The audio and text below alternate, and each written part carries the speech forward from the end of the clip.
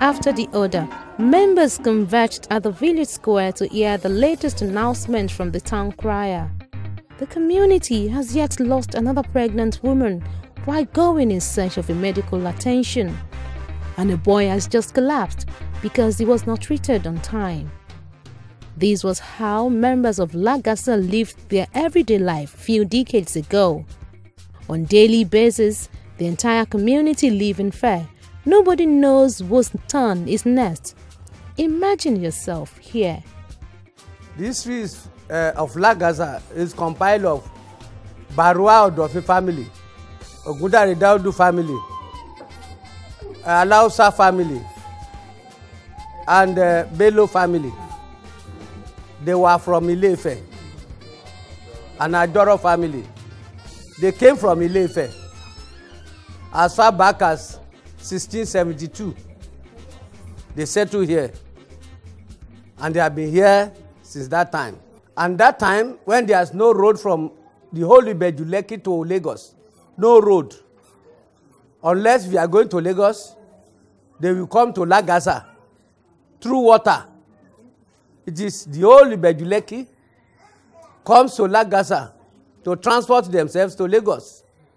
If you don't come to Lagasa, you don't go to Lagos. Lagasa is an ancient town in Ibeju-Lekki local government area. Its origin can be traced back to the old Ile-Ife. Hence, the reason Yoruba tribe became major occupant of the town. Lagasa is an agrarian town in its early days, which makes it lack basic infrastructure. In fact, members of this community depend on rickety wooden boats to transport their farm produce to other towns they believed are more advanced. We are doing farming, all our farming, all our fishing, they go through the boat to Lagos for, for, for sale.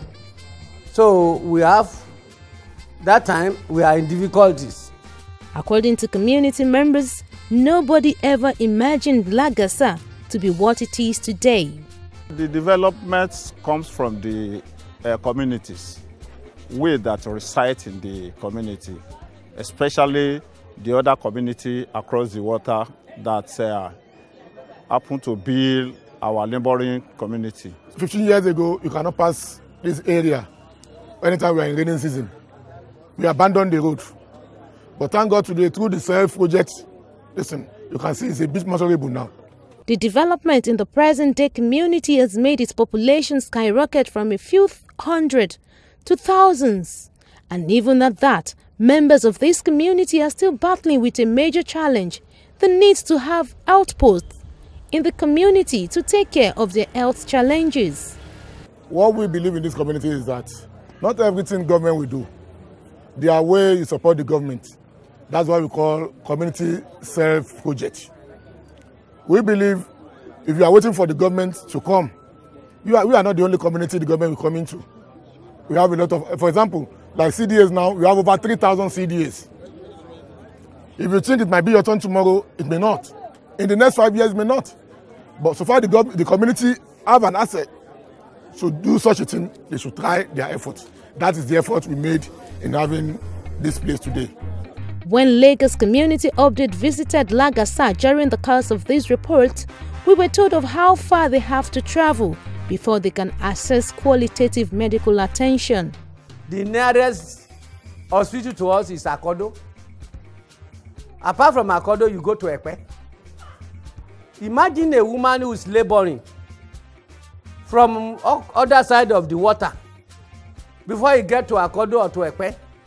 You know, it's a very difficult issue. The situation became worse for pregnant women, children, and aged. With major resources, many could not afford private hospitals. They only wished for a health post publicly owned by the community. We've lost many lives. In terms of uh, births, bearing, when they wanted to give birth, majority of our women used to die. Maybe after birth or before delivery. And some people used to sick before taking them out. When this community was in the bush, before going out, it wasn't an easy task. You have to look here and there, look for a healthy person that will help you carry the patient out. I've been into this community for the past 15 years, I realized health is wealth. People delivering then, even my wife, when she was pregnant, to deliver, we have to go to Akodo. Akodo is our, some miles to this place. Anything may happen along the road. Secondly, people at the riverine area, we have about eight communities in the riverine area. They find it difficult too. During delivery time or during sickness, before you can get to that place, sometimes might have happened. Seeking to address their plight, the executive members of Lagasa Community Development Association put on their hammer and began a journey that will benefit everybody. A health post was constructed, a relief to many. The health center have to be a challenge, or the health something have to be challenged in this community. That's why I now think of what is the first thing to do. I need to help people in the community in terms of health wise. That's why the community now came together. Need to think of the first thing to go is to go for the health, health centers so that people will be access to health facilities when come to the sickness, elders or children or whatever. This health center, we spend nothing less than 20 million as it, as, as, it, as it is now. But we still need something, nothing less than 7 million to complete it as of now. If you go in there, you see, we, we made it as if it is an hospital. It's not an health center. Because all the facility in the hospital, we have it in the health center there. A project so close to the heart of community members. And on their expression, you could tell that the community self-help project is long awaited. You've not seen anything. We've, we've told them that it's not yet time for them to come. They said they will come because everybody in this community we are happy. When, they, when we started, they were mocking, can we do this thing? CDA, can you do this? Give us. Let's try first. As from now, um, my heart is full of joy because not only me will benefit, the whole of my family will benefit. The children, children, children are coming, they will benefit. And it will not stop at this level by the grace of God. We are still going far. Maybe to General Hospital later in future. Health means a lot to me. Like um, health, without health, I don't think um, you can be able to come to school. Um, without being healthy, I don't think um, can be alive today. And um, I think by for this structure here, it mean a lot to us in this community. Like those who are pregnant, like those um, who are sick can actually come here instead of going far. It will be faster for the residents of this community to easily access the health care, and it will make them. It will be. It will make their health like. It will make people to be okay and more secure about their health. If the health center is completed, the whole eight communities they will enjoy. Elderly person is sick, before they look for a far place to take him to or a woman they will come here for at least they will first check him up know his problem.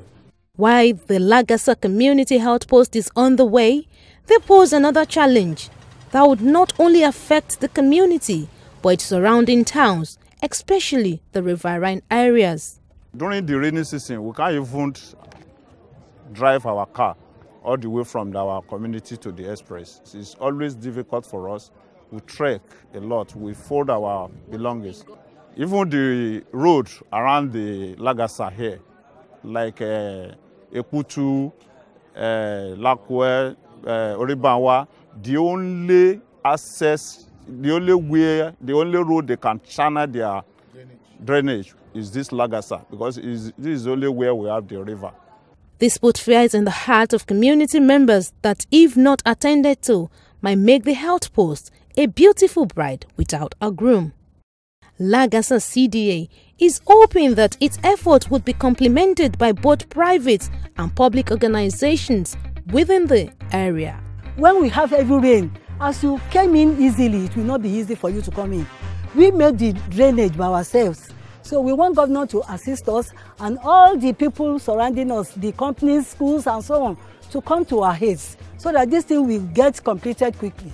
We are using this opportunity to appeal to all the corporate organizations within our assets. If not even not within our assets, they can come. I mean the NGOs, the uh, corporate bodies, and every other company in Ibejuleki will come to our aid. I thank our governor that is Governor Akinwumi Ambode. Uh, in fact, since we have been having governors, he has tried. More than tried. It's only the water is more than the the garri. Omi pọ̀ jọka lọ. You see? So that is why I know the man is trying. Uh, there's a time they did road to Ekutu. Ekutu is London now. They have done it. Please, we are appealing to our able governor to come to our aid, especially on this road.